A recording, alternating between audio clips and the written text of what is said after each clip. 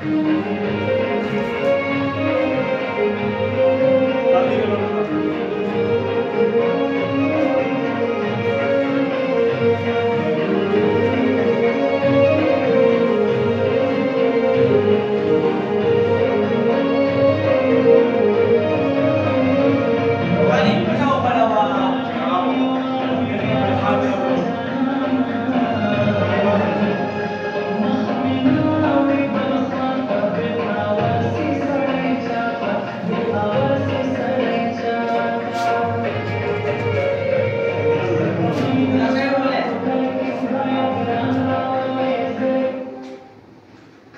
Eu acho que bai era o maior